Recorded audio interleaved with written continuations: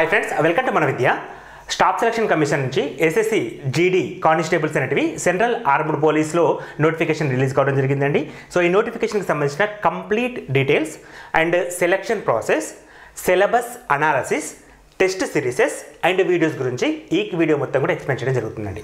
So ముందుగా మనం notification details కనుక చూసినట్లయితే సో భారీ నోటిఫికేషన్ అని చెప్పి చెప్పొచ్చండి. ఎందుకంటే మనకి ఏకంగా ఇరవై నాలుగు వేల మూడు వందల అరవై తొమ్మిది పోస్ట్ అనేటివి రిలీజ్ చేయడం జరిగిందండి. సో కేటగిరీ వైజ్గా of course male and female part one part two ఇలా డిస్ట్రిబ్యూషన్ మొత్తం కూడా క్లియర్గా ఇవ్వడం జరిగింది. సో మొత్తంగా మనకి ఇరవై నాలుగు వేల పోస్టుల పైన వేకెన్సీస్ అనేవి ఉండడం జరిగిందండి. సో ఈ ఇరవై నాలుగు వేల పోస్టులు అనేటివి మనం ఆన్లైన్ అప్లికేషన్ అండి. సో త్రూ ఆన్లైన్ అప్లికేషన్ ద్వారా చూస్తాము. అండ్ డేట్స్ అంటే చాలా చాలా ఇంపార్టెంట్. చాలా మంది కూడా డేట్స్ అయిపోయాక అప్లై చేద్దాం అని అనే చాలా మంది కూడా భ్రమ- అంటే కన్ఫ్యూజ్ అవుతూ ఉంటారండి. డేట్స్ విషయంలో క్లారిటీ ఉండాలండి. సో లాస్ట్ డేట్ ఎప్పుడో మనకి థర్టీ రోజు ఉంది కదా అని చెప్పేసి ట్వంటీ నైన్త్ ట్వంటీ ఎయిత్ కాదండి. సో టుడే ఈ రోజు అప్లై చేయండి.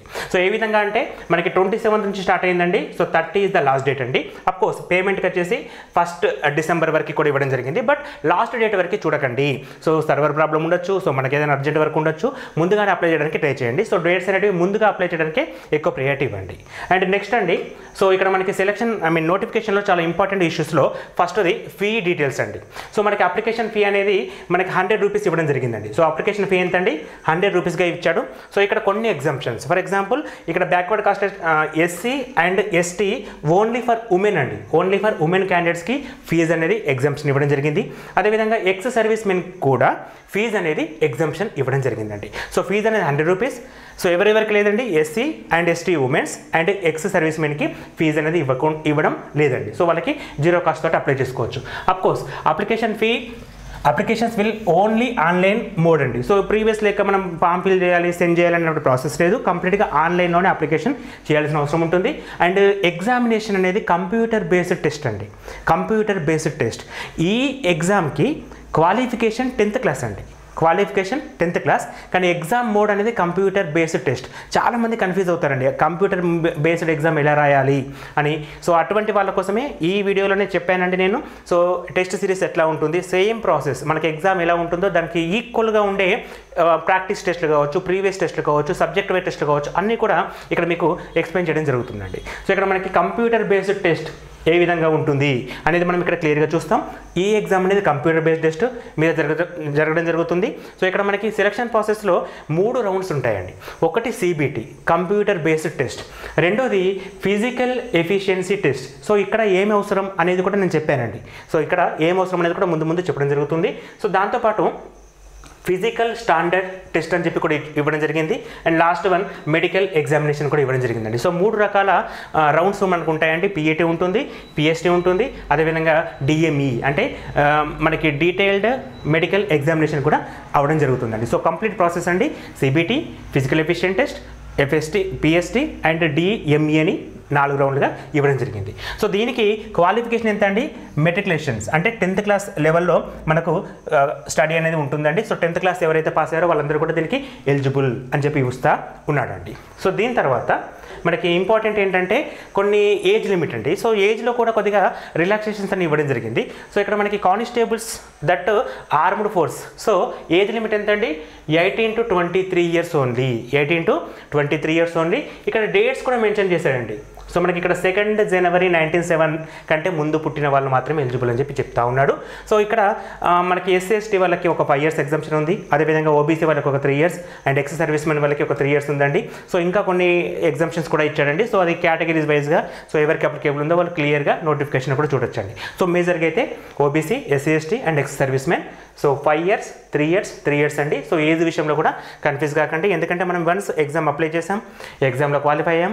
సో లాస్ట్ స్టేజ్ అండి డాక్యుమెంటేషన్ ఉంటుంది. సో అక్కడ కనుక మనం ఏజ్ కరెక్ట్గా ప్రొడ్యూస్ చేయకపోతే ఇప్పటిదాకా చేసింది కూడా మొత్తం వేస్ట్ అవుతుందండి. కాబట్టి ఏజ్ కరెక్ట్గా చూసుకొని మీరు అప్లికేషన్స్ అనేది స్టార్ట్ చేయండి. సో ఇక్కడ మనకి ఎన్సీసీ అభ్యర్థులకు కొద్దిగా అడ్వాంటేజ్ ఉందండి. సో ఎవరికైతే ఎన్సీసీలో సి సర్టిఫికేట్ ఉందో ఓవరాల్ మార్క్స్లో ఫైవ్ పర్సెంట్ అండి. సో ఓవరాల్ మార్క్స్ ఏంటండి వన్ సిక్స్టీ మార్క్స్ అండి. ఓవరాల్ మార్క్స్ ఏంటండి వన్ సిక్స్టీ మార్క్స్ ఈ వన్ సిక్స్టీ మార్కులో ఫైవ్ పర్సెంట్ అంటే ఎనిమిది మార్కులు మీకు యాడ్ అవుతాయండి. అదేవిధంగా వీళ్ళకి అండి ఫర్ ఎగ్జాంపుల్ ఇక్కడ మనకి ఎన్సీసీ బి సర్టిఫికేట్ ఉంటే ఓవరాల్గా three percent NCC A certificate ఉంటే ఓవరాల్గా టూ పర్సెంట్ అనేటివి పర్సెంటేజ్ పరంగా మార్క్స్ అనేవి యాడ్ అవుతూ ఉంటాయి. సో ఓవరాల్ మార్క్స్ పైన మనకి two percent three percent up to five percent వరకు కూడా ఎన్సీసీ అభ్యర్థులకు ఒక అడ్వాంటేజ్ అనేది ఇవ్వడం జరిగిందండి. సో ఎవరైనా కూడా ఎన్సీసీ సర్టిఫికేట్ ప్రొడ్యూస్ చేయగలిగితే అప్లికేషన్ టైంలో అప్లికేషన్ టైంలో ఎన్సీసీ సర్టిఫికేట్ ప్రొడ్యూస్ చేయగలిగితే వాళ్ళకి ఎగ్జామినేషన్ టైంలో మార్క్స్ అనేవి యాడ్ కావడం జరుగుతాయి.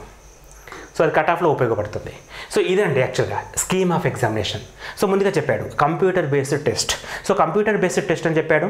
సో మొత్తం టెస్ట్ అనేది కేవలం అరవై నిమిషాలు మాత్రమే ఉంటుంది. అంటే ఒక గంట మాత్రమే ఉంటుంది. చాలా కీలకమండి టైం అనేది కేవలం వన్ అవర్ ఓన్లీ ముప్పై నిమి అరవై నిమిషాలు ఓన్లీ ఈ అరవై నిమిషాలలో మనకు ఎనభై క్వశ్చన్స్ వస్తాయండి. సో మొత్తం ఎయిటీ క్వశ్చన్స్ అండి. ఈ ఎయిటీ క్వశ్చన్స్ని నాలుగు రౌండ్స్గా అంటే నాలుగు సెక్షన్స్గా డివైడ్ చేయడం జరిగింది. సో ప్రతి సెక్షన్కి ఇరవై మార్కులు అండి ఇక్కడ చూడండి పార్ట్ ఏలో ఇరవై క్వశ్చన్స్ ఉంటాయండి. అదేవిధంగా పార్ట్ బి సి డిలో కూడా ప్రతి దాంట్లో కూడా ఇరవై ఇరవై ఇరవై. మొత్తంగా ఎన్ని క్వశ్చన్స్ అండి? ఎనభై క్వశ్చన్స్. మార్క్స్ అండి సారీ టైం ఎంత అండి అరవై నిమిషాలు. మార్క్స్ అండి నూట అరవై మార్క్స్ అండి.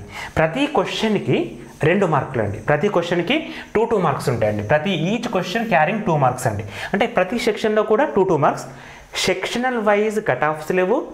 సెక్షనల్ వైజ్ టైం లిమిట్ కూడా లేదండి. సో మనం ఐబీపీఎస్ ఎగ్జామ్ రాసినప్పుడు సెక్షనల్ వైజ్గా టైం లిమిట్ ఉంటుంది. అంటే ఈ సెక్షన్ని సమ్ పదిహేను నిమిషాల్లో చేయాలి ఈ సెక్షన్ని ఇరవై నిమిషాలు చేయొచ్చు అనే టైం లిమిట్ అనేది ఏది లేదు. మొత్తంగా ఎనభై క్వశ్చన్స్కి కలిపి అరవై నిమిషాల టైం అనేది ఇవ్వడం జరిగింది. ప్రతి క్వశ్చన్కి రెండు మార్కులు ఇస్తున్నాడు. ప్రతి క్వశ్చన్కి రాంగ్ అంటే నెగిటివ్ మార్కింగ్ కూడా ఉందండి. నెగిటివ్ మార్కింగ్ కూడా ఉంది. ఆ నెగిటివ్ మార్కింగ్ అనేది ఎలా ఇస్తున్నాడంటే zero point five marks for each question. ఒక క్వశ్చన్ క్వశ్చన్ను కరెక్ట్ చేస్తే రెండు మార్కులు వస్తాయి.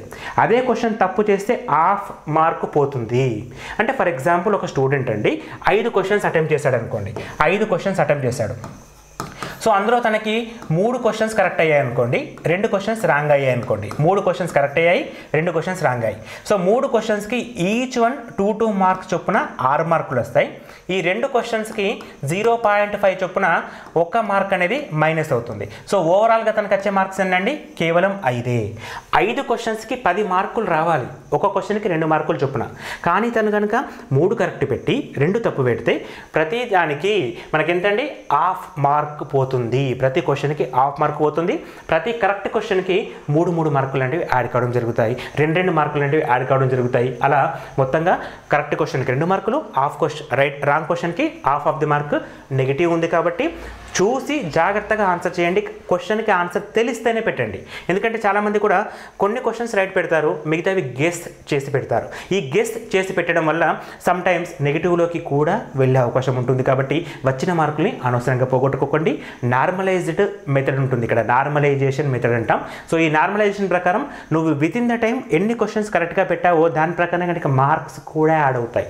అన్నెసెసరీగా రాంగ్ మార్క్స్ పెట్టి నార్మలైజేషన్స్లో మార్కులు కోల్పోవద్దు చాలామంది చెప్తారు నేను కరెక్ట్గా పెట్టిన మార్కులు కూడా నాకు రాలేసారని ఎందుకంటే నువ్వు తప్పుగా పెట్టినావు సో దాని ద్వారా కూడా నార్మలైజేషన్లో మార్కులు తగ్గే అవకాశం ఉంటుంది. ఈ విషయాన్ని చాలా జాగ్రత్తగా చూడండి. సో ఈ ఈ ప్రాసెస్ అనేది ఎలా ఉంటుంది అనేది మన టెస్ట్ సిరీస్లో క్లియర్గా మీకు అర్థమవుతుందండి. టెస్ట్ సిరీస్లో క్లియర్గా అర్థమవుతుంది. సో ఇక్కడ మనం సిలబస్ కనుక చూస్తే అండి సిలబస్ కనుక చూస్తే పార్ట్ ఏలో రీజనింగ్ అంటాం ఇంటెలిజెన్స్ అని చెప్పి ఇస్తాడండి జనరల్ ఇంటెలిజెన్సీ అంటే రీజనింగ్ అని చెప్పి గుర్తుపెట్టుకోండి. సింపుల్గా రీజనింగ్ అని గుర్తుపెట్టుకోండి. పార్ట్ సిలో mathematical ability all elementary mathematics అన్నాడు. దీన్ని మనం అర్థమెటిక్ అంటామండి. దీన్ని మనం అర్థమెటిక్ అని చెప్పి అంటాం. సో మనకు ఏమేమి ఇచ్చాడండి? అర్థమెటిక్ ఇవ్వడం జరిగింది. రీజనింగ్ అనేది ఇవ్వడం జరిగిందండి. అవి ఇరవై మార్కులు అండి ఇక్కడ కూడా ఇరవై మార్కులు అండి అంటే సారీ ఇరవై క్వశ్చన్స్ ఇరవై క్వశ్చన్స్ అంటే మొత్తంగా నలభై questions half of the syllabus half of the syllabus arithmetic reasoning అండి. Half of the syllabus arithmetic reasoning remaining half of the సిలబస్లో ఇంగ్లీష్ అనేది వన్ పార్ట్ అండి. ఇక్కడ ఇరవై క్వశ్చన్స్ ఉంటాయి. GK and general awareness GK and general awareness పైన ఇరవై మార్కులు ఉంటాయి. మొత్తంగా మనకు ఎనభై క్వశ్చన్స్ ఎనభై questions each one two marks మొత్తంగా నూట అరవై మార్కుల పేపర్ ఈ నూట అరవై మార్కులకు ఎనభై క్వశ్చన్స్కి టైం అనేది కేవలం అరవై నిమిషాలు మాత్రమే ఒక గంట మాత్రమే. ఇది ఆన్లైన్ ఎగ్జామ్ ఇది ఆన్లైన్ ఎగ్జామ్. ఇది మనకి స్కీమ్ ఆఫ్ ఎగ్జామినేషన్ సంబంధించిన డీటెయిల్స్ అండి. మరి సిలబస్ కనుక చూసామనుకోండి సో ఇక్కడ రీజనింగ్ అని చెప్పి ఇచ్చాడు. So general intelligence and reasoning అని ఇచ్చాడు. ఏ ఏ కాన్సెప్ట్స్ పైన ఫోకస్ చేయాలి అనేది కూడా క్లియర్గా ఇస్తూ లాస్ట్కు ఈటీసీ ఎక్సెట్రా అని చెప్పి కూడా ఇవ్వడం జరిగింది. అంటే ఇంకా సరిపోదు ఇంకా వేరే కూడా ఉంటాయని దాని మీనింగ్ అండి. ఇక్కడ ఇచ్చిన సిలబస్ చూడండి. Analytical aptitude and ability to observe the distinction patterns will be tested through questions principles and non verbal types అంటే ఫార్ములా బేస్డ్ క్వశ్చన్స్ ఉండొచ్చు నాన్ వర్బల్ టైప్స్ కూడా ఉండొచ్చు అని చెప్పిస్తున్నాడు this component may include questions and analogies, sarupyata, similarities, differences and uh, spatial visualizations and uh, memory and observation relationship concepts arithmetical reasoning and figure classification arithmetic number series and non verbal series coding and decoding of course ఇక్కడ blood relations ఇవ్వలేదు directions ఇవ్వలేదు clocks ఇవ్వలేదు calendars ఇవ్వలేదు. ఇవన్నీ కూడా ఇస్తాడండి. ఇక్కడ సిలబస్లో మెన్షన్ చేసింది మాత్రం ఇచ్చి ఆగిపోతాడని మాత్రం అసలు అనుకోవద్దు. అందుకే ఇక్కడ మనకి ఈటీసీ అనే కాన్సెప్ట్ ఇవ్వడం జరిగింది ఎక్సెక్టర్ అని చెప్పి ఇచ్చాడు. సో దీని తర్వాత వచ్చే మనకి ప్రతిదీ అండి. ఆపరేటర్ మ్యాథమెటికల్ ఆపరేషన్స్ పైన క్వశ్చన్ వస్తుంది. సీటింగ్ అరేంజ్మెంట్ పైన క్వశ్చన్స్ వస్తున్నాయి. మీరు లాస్ట్ ప్రీవియస్ పేపర్ చూడండి. ఇక్కడ సిలబస్లో మెన్షన్ చేయలేదు సార్ క్వశ్చన్లో ఇచ్చాడు. సో దట్ ఈజ్ రీజనింగ్ అండి. రీజనింగ్లో అన్ని పార్ట్స్ కూడా ఇంక్లూడ్ అయి ఉంటాయి. ఇదే రావాలని చెప్పి ఎటువంటి ఇక్కడ ఇచ్చినవే వస్తాయని చెప్పి అనుకోకండి. లాస్ట్కు ఈటీసీ ఉంది. ఈ వడ్డు చూడండి. సో సిలబస్ చాలా ఉంటుంది. సో లిమిటెడ్ సిలబస్ని మాత్రం ఎక్స్పెక్ట్ చేయకండి. సో దీని తర్వాత మనకి జనరల్ నాలెడ్జ్ అండ్ అవేర్నెస్ అండి. సో ఇక్కడ మనకి ఏంటంటే current events course current events అడుగుతాడు స్టాక్ జీకి అడుగుతాడు. సో ఇక్కడ చూడండి questions in this component aim to testing the candidates general awareness of the environmental around him so తన చుట్టూ జరిగే డే టు డే యాక్టివిటీస్ పైన ఎక్కువ ఫోకస్ చేయడం జరుగుతుంది. Day to day activities in the sense current events of course science and సోషల్కి సంబంధించిన events కూడా మనకి ఇక్కడ టెస్టెడ్ చేస్తాడు. That is general knowledge and awareness అని చెప్పి తీసుకోవచ్చు అండి ఇక్కడ మనకి ఈవెన్ దో పాలిటీ అడుగుతాడు ఇండియన్ కాన్స్టిట్యూషన్స్ పైన అడుగుతాడు సైంటిఫిక్ రీజన్స్ రీసెర్చ్ పైన అడుగుతాడు. So some Indian and neighbour కంట్రీస్లో జరిగే ఇష్యూస్ పైన కూడా ఫోకస్ చేయడం జరుగుతుంది. సో ఇక్కడ మనకి కరెంట్ అఫైర్స్ కూడా ఇంక్లూడెడ్ స్టాక్ జీకే కూడా ఇంక్లూడెడ్ జనరల్ సైన్స్ కూడా ఇంక్లూడెడ్ అవుతుంది. ట్వంటీ క్వశ్చన్సే ఉంటాయి. సో సో డెప్త్గా ఉండదు క్వశ్చన్ క్వశ్చన్స్ అంటే డెప్త్గా అస్సలు ఉండదు. ఎందుకంటే బేస్డ్ ఆన్ మెట్రికులేషన్స్ అంటే టెన్త్ క్లాస్ స్టాండర్డ్ క్వశ్చన్స్ అండి. ఇప్పుడు మనం గ్రూప్ వన్ రాస్తే డిగ్రీ స్టాండర్డ్ ఉంటుంది. డిగ్రీ స్టాండర్డ్ ఉంటుంది. ఇది టెన్త్ క్లాస్ లెవెల్ అండి. చాలా ఈజీ క్వశ్చన్ పేపర్ ఉంటుంది. అన్నెసెసరీగా సిలబస్ హ్యూజ్ ఉంటుంది. అంటే ఎక్కువ సిలబస్ ఉంటుంది. కానీ డెప్త్ ఉండే అవకాశం తక్కువ. డెప్త్ ఉండే అవకాశం తక్కువ. చాలామంది ఏంటంటే సిలబస్ పెద్దగా ఉంటుంది. డెప్త్ చదువుతా అనుకుని టైం అంతా వేస్ట్ చేస్తూ కొన్ని కాన్సెప్ట్స్ చదువుతారు. అలా కాదండి. ప్రతి కాన్సెప్ట్ చదవండి. ప్రతి కాన్సెప్ట్లో మినిమం నాలెడ్జ్ మీరు గెయిన్ చేయాలి. మినిమం నాలెడ్జ్ మీరు గెయిన్ చేయాలి. Of course question paper Hindi and English ఇంగ్లీష్లో మాత్రమే ఉంటుంది. తెలుగులో క్వశ్చన్ పేపర్ రాదు. తెలుగులో క్వశ్చన్ పేపర్ రాదు. చాలామంది టెన్త్ క్లాస్ చదివిన స్టూడెంట్స్ ఎస్ఎస్సి జీడీకి వెళ్ళేటప్పుడు సో తెలుగులో క్వశ్చన్ పేపర్ ఉంటే బాగుండేమో అనుకుంటారండి. కానీ మనం ముందుగా ప్రీవియస్ పేపర్స్ కానీ క్లాసెస్ కానీ వినడం ద్వారా క్వశ్చన్ ఎలా అడుగుతున్నాడు? పెద్దగా తేడా ఏమి ఉండదండి. ఇంగ్లీష్లో క్వశ్చన్కి తెలుగులో క్వశ్చన్కి చాలామంది తెలుగు మీడియం అభ్యర్థులు అది స్ట్రగుల్ అయ్యేది అక్కడేనండి. క్వశ్చన్ ఇంగ్లీష్లో ఉంది నాకు రాదని ఫీలింగ్ మీలో ఉంటుంది. ఆ ఫీలింగ్ పక్కకు పెట్టండి. చాలా సింపుల్ క్వశ్చన్స్ అండి. ఐదు డబ్ల్యూస్ అండి. వాట్ వై వార్ దే ఇటువంటి మాత్రమే అడుగుతాడండి చాలా సింపుల్ క్వశ్చన్స్ ఉంటాయి. అన్నెసెసరీగా మీరు ఫస్ట్గా డిసప్పాయింట్ కాకండి. తెలుగులో క్వశ్చన్ పేపర్ లేదనుకోకండి. ఈజీ క్వశ్చన్సే ఉంటాయి. ఓకేనా సార్ ఇంకా నెక్స్ట్ మన కాన్సెప్ట్ అండి అర్థమెటిక్ సో ఎలిమెంటరీ మ్యాథమెటిక్స్ అని ఇస్తున్నాడు పేరు ఇక్కడ అర్థమెటిక్కి సో కామన్గా this component this paper include the questions problems on relating numbers so number systems whole numbers decimals fractions and relationship between the numbers fundamental arithmetic operations percentages ratio proportions profit and loss partnerships ఇక్కడ మనం చెప్పుకుంటూ వెళ్ళొచ్చండి. Time and work time and distance so ఇక్కడ ఇచ్చాడు already average interest profit and loss discount mensuration ఇగో ఇదండి. Mensuration two D geometry three D geometry కూడా include అయ్యే అవకాశం ఉంది మనకి. సో మెన్సరేషన్లో మనకి స్క్వేర్ కానీ క్యూబ్ కానీ లేకపోతే మనకి uh, లైక్ um, ఇక్కడ మనకి లైక్ సర్కిల్స్ కానీ సో అవన్నీ కూడా ఇక్కడ మనకు మెన్షన్ చేసే అవకాశం ఉందండి. ఒకటి రెండు క్వశ్చన్స్ అడుగుతాడు. డెప్త్గా వెళ్ళాడు కాకపోతే. Time and distance ratio proportion ratio and time time and work ఇవన్నీ కూడా క్లియర్గా అడగడం జరుగుతుందండి. అయితే నార్త్ వాళ్ళకి ఒక చిన్న అడ్వాంటేజ్ ఉంటుంది. ఇక్కడ ఫోర్త్ పార్ట్ ఏదైతే ఉందో ఈ ఫోర్త్ పార్ట్ ఏదైతే ఉందో దీనికి ఇరవై మార్కులు అంటే ఇరవై క్వశ్చన్స్ ఉంటాయండి which is equal to forty marks ఉంటాయండి. ఈ ఫార్టీ మార్క్స్ వాళ్ళకి టూ టైప్స్ ఉంటుంది.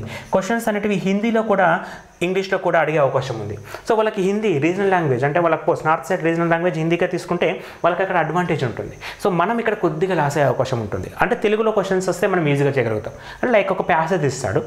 ఆ ప్యాసేజ్ తెలుగులో ఉంటే మనం ఈజీగా చేస్తాం. దట్ ఇంగ్లీష్లో ఉంటే కొద్దిగా కొద్దిగా తగ్గే అవకాశం ఉంటుంది తప్ప వేరే ఉండదండి. కట్ కట్ ఆఫ్స్ మాత్రం నార్మలైజేషన్ మెథడ్ ఉంటుంది. నార్మలైజేషన్ మెథడ్ అంటే ఈ ఏరియాలో ఈ పేపర్కి ఎవరు ఎంత స్కోర్ చేశారు? ఇది నార్మలైజేషన్.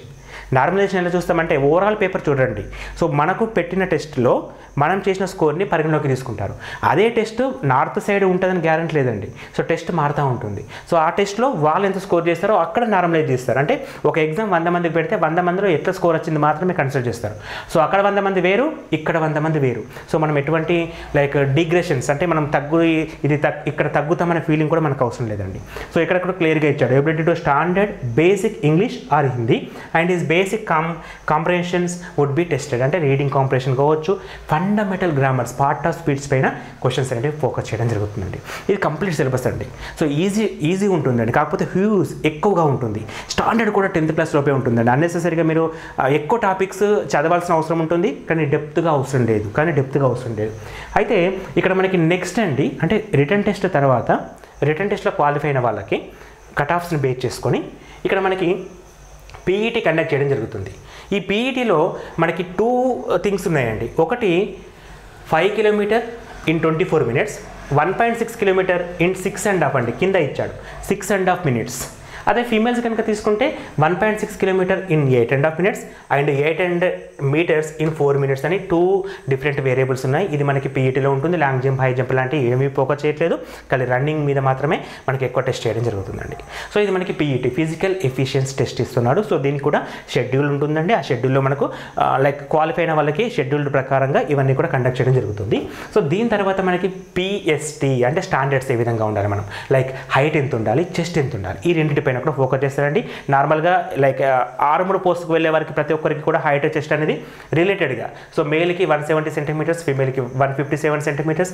Of course chest అనేది మనకి ఎయిటీ సెంటీమీటర్స్ ఎక్స్పాండబుల్ చేస్తే ఫైవ్ సెంటీమీటర్స్ ఇంక్రీజ్ కావాలి. సో ఇది కామన్ థింగ్ అండి. అందరికీ కూడా మాక్సిమం ఉండే అవకాశం ఉంటుంది. ఇక్కడ పెద్దగా ప్రాబ్లం ఉండదు. దీని తర్వాత జరిగే డాక్యుమెంటేషన్లో కూడా పెద్దగా ప్రాబ్లం అనేది ఉండదండి. సో డాక్యుమెంటేషన్ కూడా సో ముందుగా మన దగ్గర ఉండాల్సిన సర్టిఫికేట్స్ ఏవైతే ఉన్నాయో పర్ఫెక్ట్గా లైక్ క్యాస్ట్ కావచ్చు క్వాలిఫికేషన్ సర్టిఫికేషన్ కావచ్చు ఇవన్నీ కూడా పర్ఫెక్ట్గా ఉంటే నెక్స్ట్ జరగబోయే మెడికల్ కానీ డాక్యుమెంటేషన్ కానీ అంతా కూడా ఈజీగా జరుగుతుందండి. అయితే ఇక్కడ ఇంకొక విషయం అండి. మనం ప్రొవైడ్ చేసే చేయబోయేది టెస్ట్ సిరీసెస్ అండి. సో ఇప్పుడు మనం చెప్పిన ప్రాసెస్ మొత్తాన్ని కూడా టెస్ట్ సిరీసెస్ అంటే ఇప్పుడు మనం ఏదైతే అనుకున్నామో ఇప్పుడు కంప్యూటర్ బేస్డ్ టెస్ట్ అంటున్నాం. సో కంప్యూటర్ బేస్డ్ టెస్ట్కి ముందుగా మనం టెస్ట్ ప్రిపేర్ అయితే సో ముందుగా అంటే ఇప్పుడు మనకి చాలా టైం ఉందండి. జనవరి ట్వంటీ ట్వంటీ థర్డ్లో ఎగ్జామ్ అనేది కండక్ట్ చేస్తా అని చెప్పాడు. సో ఇప్పుడు మనం నవంబర్లో ఉన్నాం. సో ఈ ఈ మీన్ బిట్వీల్ ఇక్కడ మనకి ఎంతండి? టూ మంత్స్ టైం ఉంది. టూ త్రీ మంత్స్ టైం ఉంది కదండి. ఈ టూ త్రీ మంత్స్ టైంని కరెక్ట్గా ప్లాన్ చేసుకుంటే మనం సిలబస్ చదువుతూ టెస్ట్ సిరీసెస్కి బాగా ప్రిపేర్ కావాలి. ఎందుకంటే computer based test online test మనం రాయాలి. సో ఆన్లైన్ టెస్ట్ రాయడం కోసమే ఇక్కడ మనకి మన విద్య అల్లాడి పబ్లికేషన్. ఇది మన యాప్ అండి. సో ఈ యాప్ ద్వారా తక్కువ ప్రైస్కి అండి తక్కువ ప్రైజ్కి. ఎంత ప్రైస్ అంటే కేవలం నాలుగు వందల రూపాయలండి. కేవలం నాలుగు వందల రూపాయలకే మీకు నూట ఎనభై ఒక టెస్ట్ని ప్రొవైడ్ చేస్తున్నామండి. వన్ ఎయిటీ వన్ టెస్ట్లని ప్రొవైడ్ చేయడం జరుగుతుంది. మీరు మొబైల్లో రాసుకోవచ్చు సిస్టంలో కూడా రాసుకోవచ్చు అండి ఒక్కొక్క టెస్ట్ని రిపీటెడ్ టైమ్స్ కూడా రాయొచ్చు. ఇవంతా కూడా మీకు అవైలబిలిటీ ఉంటుంది. మొబైల్ మొబైల్లో రాసుకోవచ్చు అండి యాప్ ఉంటుంది మనకు. మన విద్య అల్లాడి పబ్లికేషన్ యాప్ మీరు ప్లే స్టోర్ నుంచి డౌన్లోడ్ చేసుకోవచ్చు. సో ప్లే స్టోర్ ఓపెన్ చేసి మన విద్య అల్లాడి పబ్లికేషన్ కొడితే మన యాప్ డౌన్లోడ్ అవుతుంది. డిస్క్రిప్షన్ బాక్స్లో కింద డిస్క్రిప్షన్ బాక్స్లో యాప్ లింక్ ఇచ్చాం. ఈ టెస్ట్ సిరీస్కి సంబంధించిన లింక్ కూడా ఇవ్వడం జరిగిందండి. టెస్ట్ సిరీస్కి సంబంధించిన లింక్ కూడా ఇవ్వడం జరిగింది. ఇక్కడ మీకు ప్రీవియస్ టెస్ట్లు ఎనభై నాలుగు ఇవ్వడం జరిగిందండి. సో ప్రీవియస్ పేపర్స్ ఏవైతే ఉన్నాయో అంటే క్వశ్చన్ ఇది వరకు ఎలా అడిగాడు? ఒక్క పేపర్ కాదండి ఎనభై నాలుగు పేపర్లలో క్వశ్చన్స్ ఎలా అడిగాడు? వాటికి సొల్యూషన్స్ ఏంటి? ఆన్సర్స్ ఏంటి? ఎక్స్ప్లెనేషన్ ఏంటి? అని కూడా క్లియర్గా ఇవ్వడం జరిగిందండి. ఒక మ్యాథమెటిక్ క్వశ్చన్ ఇప్పుడు మనకు అర్థమెటిక్ ఉంది రీజనింగ్ ఉంది దానికి ఎక్స్ప్లెనేషన్ కావాలి మనకి. ఎలా అడిగాడు క్వశ్చన్ అదంతా కూడా ఇక్కడ చూడొచ్చండి. టెస్ట్ సిరీస్ రూపంలో చూడొచ్చు. సో దీంతో పాటు ఫుల్ టెస్ట్ అండి ఇవి మోడల్ పేపర్స్ ఇవి ఏంటండి? మోడల్ పేపర్స్ సో ఈ మోడల్ పేపర్స్ మనకి ఎన్ని ఇచ్చాడండి? పదమూడు మోడల్ పేపర్స్ ఇచ్చాడు. పదమూడు మోడల్ పేపర్స్ అంటే ఇప్పుడు మేబీ ఎలా ఎక్స్పెక్ట్ చేయొచ్చు? సో దీంతో పాటు చాప్టర్ వైజ్ టెస్ట్ అండి ఇప్పుడు మనం సిలబస్ చెప్పాం కదండి? సిలబస్లో చెప్పిన ప్రతి చాప్టర్ నుంచి క్వశ్చన్స్ ఉంటాయి. ప్రతి చాప్టర్ నుంచి క్వశ్చన్స్ ఉంటాయి. అండ్ సెక్షనల్ వైజ్ టెస్ట్లో ఒక ఇరవై మూడు ఇవ్వడం జరిగింది. అంటే part A part B part C part D ఒక్కొక్కటి చదవడం వేరు కలిపి చదవడం వేరు మొత్తంగా రాయడం వేరు. ఈ మొత్తంగా రాసినప్పుడు గంట లోపల మనం ఎన్ని రాస్తున్నాం? నెగిటివ్ మార్కింగ్ పోను మనకి ఎన్ని వస్తున్నాయి? సో ఇది కట్ ఆఫ్లో మనం ఉంటున్నామా లేదా అనేది మొత్తం కూడా క్లారిటీగా ఉంటుంది. ఇంకో విషయం కట్ ఆఫ్ ఇప్పుడే డిసైడ్ కాదు. అది పేపర్ పైన డిపెండ్ అవుతుంది. రాసే అభ్యర్థుల పైన డిపెండ్ అవుతుంది. చాలామంది ముందుగా చెప్పేస్తారు ఈ నూట అరవై మార్కులకు ఈ నూట అరవై మార్కులకు మీకు ఎనభై నుంచి వంద మార్కులు వస్తే చాలు మీరు కట్ ఆఫ్ అయితే పోతారు పాస్ అయిపోతారని చెప్పి చెప్తారు. ఎలా చెప్పడానికి ఛాన్స్ అనేది లేదు. That pure depends paper paper standard పైన నార్మలైజేషన్ పైన మనం రాసే అభ్యర్థుల పైన ఆధారపడుతుంది. ముందుగా ఏది కూడా చెప్పినా నమ్మకండి అనవసరంగా టైం వేస్ట్ చేసుకోండి. ఇన్నే వస్తే చాలు వంద వస్తే చాలు నాకు నూట అరవై ఐదు అనుకోకండి. నూట అరవైకి చదవండి నూట అరవైకి ప్రిపేర్ కండి. ఈ టెస్ట్ సిరీస్ అనేది మీకు ఎంతగానో ఉపయోగపడుతుంది. ఎందుకంటే కేవలం నాలుగు వందల రూపాయలకే ప్రొవైడ్ చేస్తున్నాం మన విద్య అల్లాడి పబ్లికేషన్ యాప్ ద్వారా. సో యాప్ ఎక్కడ ఉంటుంది? ప్లే స్టోర్లో డౌన్లోడ్ చేసుకోవచ్చు. కింద డిస్క్రిప్షన్ బాక్స్లో లింక్ కూడా ఇవ్వడం జరిగింది. సో ఆ లింక్ నుంచి కూడా మీరు డైరెక్ట్గా యాప్ డౌన్లోడ్ చేసుకోవచ్చు. కోర్స్ పేజ్కి కూడా వెళ్ళొచ్చు. Simple payment method phone PhonePe Google Pay. I mean purchase చేయగానే కోర్సెస్ యాడ్ అయిపోతాయి టెస్ట్ అప్పుడే రాసుకోవచ్చు అండి ఇక ఇంపార్టెంట్ ఏంటంటే క్లాసెస్ అండి. సో ఇది నేను ముందుగానే చెప్పాను. ఏంటిది? స్టాఫ్ సెలక్షన్ కమిషన్కి సంబంధించిన ఎగ్జామ్ సో టెన్త్ క్లాస్ లెవెల్లో ఉంటుంది పేపర్ ఇంగ్లీష్లో ఉంటుంది. చాలామంది తెలుగు మీడియం స్టూడెంట్స్ ఉన్నారు ఇంగ్లీష్ మీడియం స్టూడెంట్స్ ఉన్నారు. నాన్ మ్యాథ్స్ వాళ్ళు ఉంటారు ఎక్కువగా. నాన్ మ్యాథ్స్ వాళ్ళు ఉంటారు. అఫ్కోర్స్ మ్యాథమెటిక్స్ స్టూడెంట్స్ కూడా అప్లై చేస్తారు. సో ఎన్సీసీ వాళ్ళు ఉంటారు. వీళ్ళందరికీ కూడా ఒక ఫిఫ్టీ పర్సెంట్ సిలబస్ అండి. ఇక్కడ మనకి arithmetic and reasoning arithmetic and reasoning general intelligence అని చెప్పాము. మ్యాథమెటికల్ ఎబిలిటీ అని చెప్పాము. ఇక్కడ ఇరవై క్వశ్చన్స్ నలభై మార్కులు ఇరవై క్వశ్చన్స్ నలభై మార్కులు. మొత్తంగా ఎనభై మార్కుల సిలబస్ అండి. మొత్తంగా ఎనభై మార్కుల సిలబస్ మొత్తాన్ని కూడా వీడియోల రూపంలో మీకు ఎక్స్ప్లెయిన్ చేస్తాం. వీడియోల రూపంలో ఎక్స్ప్లెయిన్ చేస్తాం. As per SSC GD syllabus. SSC GD syllabus tenth class level. Tenth class level syllabus మొత్తాన్ని కూడా ఏమేం క్వశ్చన్స్ ఇంతకుముందు సిలబస్లో ఇచ్చాడు కదా పర్సంటేజెస్ ప్రాఫిట్ అండ్ లాస్ ఇవన్నిటిని కూడా క్లియర్గా ఎక్స్ప్లెయిన్ చేయడం జరిగిందండి. ఈ సిలబస్ ఈ కోర్స్ అనేది మీకు ఎయిట్ హండ్రెడ్ రూపీస్కి ఇస్తున్నామండి. ఎయిట్ హండ్రెడ్ రూపీస్కి ఇస్తున్నాం with one year validity. With one year validity. Subject ఉంటుంది క్లాసెస్ ఉంటాయి. డౌట్స్ వచ్చే డౌట్స్ వస్తే కాంటాక్ట్ కావచ్చండి. నా నంబర్ కూడా ఇస్తాను మీకు nine zero five two four five zero eight six nine. ఈ నెంబర్కి మీరు డైరెక్ట్గా కాంటాక్ట్ కావచ్చు. కోర్సెస్ పర్చేజ్ చేయాలనుకుంటే సేమ్ ప్రాసెస్ మన విద్య అల్లాడి పబ్లికేషన్ యాప్లో మీరు ఈ యాప్ని డౌన్లోడ్ చేసుకోవాలి. యాప్లో మీకు ఎస్ఎస్సి జీడీ కోర్స్ ఉంటుంది. దాన్ని మీరు పర్చేజ్ చేయాలి through PhonePe Google Pay like UPI ఏదైనా కూడా అవైలబిలిటీ ఉంటుంది. మొబైల్లో క్లాసెస్ వినొచ్చు ఎనీ టైం వినొచ్చు ఎప్పుడైనా వినొచ్చు. అన్ని క్లాసెస్ కూడా అప్లోడ్ చేసి ఉంచాం. అన్ని క్లాసెస్ కూడా రెడీగా అప్లోడ్ చేసి ఉంచాం. వన్స్ మీరు పర్చేస్ చేయగానే క్లాసెస్ ఓపెన్ అవుతాయి క్లాసెస్ వినండి నోట్స్ మెయింటైన్ చేయండి రఫ్ వర్క్ యూజ్ చేయండి సో ప్రాక్టీస్ చేయండి దాని ద్వారా సబ్జెక్ట్ మొత్తాన్ని కంప్లీట్ చేయండి. సో మీరు అనుకున్న ఆర్మ్డ్ ఫోర్స్ జాబ్ ఏదైతే ఉందో దాంట్లో మీరు ఎంటర్ కావాలంటే ఖచ్చితంగా ప్రిపరేషన్ ఉండాలి. ఆ ప్రిపరేషన్ క్లాసెస్ ఉండాలి. ఎట్ ద సేమ్ టైం ఆ క్లాసెస్తో తగ్గట్టుగా ఎగ్జామ్ టెస్ట్ సిరీస్ కూడా మీరు ప్రాక్టీస్ కావాలి. అఫ్కోర్స్ తక్కువ ప్రైజ్ అండి. ఎనిమిది వందల రూపాయలు ఒకటి నాలుగు వందల రూపాయలు ఒకటి. కేవలం పన్నెండు వందల రూపాయల్లో మీకు టెస్ట్ సిరీస్ వచ్చేస్తుంది క్లాసెస్ వస్తాయి. ఇంటి వద్దనే కూర్చొని గ్రౌండ్కు వెళ్తూ గ్రౌండ్ ప్రాక్టీస్ చేయండి. ఇంటి దగ్గర ఉండి క్లాసెస్ ప్రిపేర్ కండి. మీరు అనుకున్న టార్గెట్ ఏదైతే ఉందో దాన్ని రీచ్ కండి. ఈ వేలో అంటే మీ ప్రయాణంలో మన విద్యాలయ అప్లికేషన్ యాప్ ఎప్పటికీ కూడా మీతోటి తోడుగా ఉంటుంది. So thanks for watching thank you and all the best for your exam అండి. ఈ వీడియో